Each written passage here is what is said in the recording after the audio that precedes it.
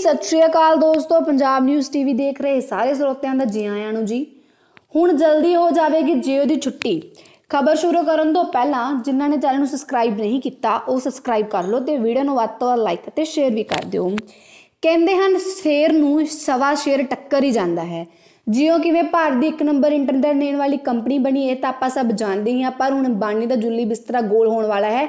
ਕਿਉਂਕਿ ਹੁਣ ਧਰਤੀ ਦੇ ਸਭ ਤੋਂ ਅਮੀਰ ਅਰਬਪਤੀ ਐਲਨ ਮਕਸ ਹੁਣ ਇੰਟਰਨੈਟ ਦੀ ਦੁਨੀਆ ਵਿੱਚ ਹਲਚਲ ਦੀ ਪੂਰੀ ਤਿਆਰੀ ਕਰ ਚੁੱਕੇ ਹਨ।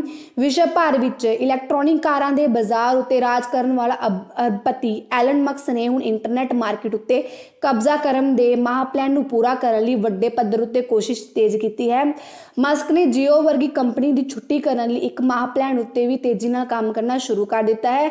ਇਸ ਦੇ ਤਹਿਤ ਇੰਟਰਨੈਟ ਸਰਵਿਸ ਲਈ ਕਰੀਬ 1000 ਸੈਟੇਲਾਈਟ ਛੱਡੇ ਹਨ। ਉਸ ਦੀ ਕੰਪਨੀ ਸਪੇਸ ਐਕਸ ਦੇ ਕੋਲ ਅਗਲੇ ਕੁਝ ਸਾਲ 12000 ਸਟ੍ਰਾਈਕਲ ਸੈਟੇਲਾਈਟਸ ਭੇਜਣ ਦੀ ਇਜਾਜ਼ਤ ਹੈ।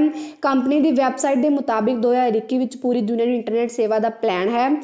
ਵਿਸ਼ੇਸ਼ ਗਿਆਨ ਦਾ ਕਹਿਣਾ ਹੈ ਕਿ ਜੇਕਰ ਐਲਨ ਮਕਸ ਦੀ ਕੰਪਨੀ ਸਪੇਸਐਕਸ ਜੇਕਰ ਭਾਰਤ ਵਿੱਚ ਐਂਟਰੀ ਕਰਦੀ ਹੈ ਤਾਂ ਇਸ ਨੂੰ ਤਾਂ ਇੱਥੇ ਉਸ ਨੂੰ ਮੁਕੇਸ਼ ਅੰਬਾਨੀ ਦੀ ਰਿਲਾਇੰਸ ਜੀਓ ਨਾਲ ਫਸਾਵਾ ਮੁਕਾਬਲਾ ਹੋਵੇਗਾ, ਜੋ 5G ਲਾਂਚ ਕਰਨ ਦੀ ਤਿਆਰੀ ਵਿੱਚ ਹੈ।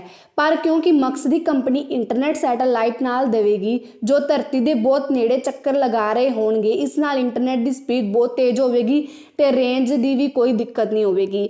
ਇਸ ਦੇ ਲਈ ਮਕਸ ਨੇ ਕੋਈ ਕੋਈ ਕੇਬਲ ਨਹੀਂ ਵਿਛਾਉਣਾ ਪਵੇਗਾ। ਇਸ ਦਾ ਸਭ ਤੋਂ ਵੱਡਾ ਫਾਇਦਾ ਹੈ ਪਿੰਡਾਂ ਦੇ ਲੋਕਾਂ ਨੂੰ ਹੋਏਗਾ, ਕਿਉਂਕਿ ਪਿੰਡਾਂ ਵਿੱਚ ਇੰਟਰਨੈਟ ਰੇਂਜ ਦੀ ਬਹੁਤ ਪ੍ਰੋਬਲਮ ਆਉਂਦੀ ਹੈ।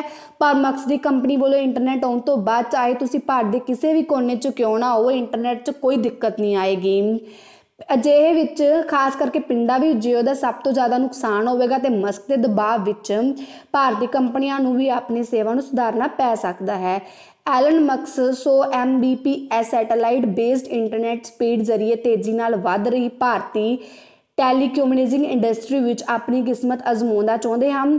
ਐਲਨ ਮਕਸ ਨੇ ਭਾਰਤ ਸਰਕਾਰ ਨੂੰ ਦੇਸ਼ ਵਿੱਚ ਸੈਟੇਲਾਈਟ ਇੰਟਰਨੈਟ ਸੇਵਾ ਦੀ ਆਗਿਆ ਮੰਗੀ ਹੈ।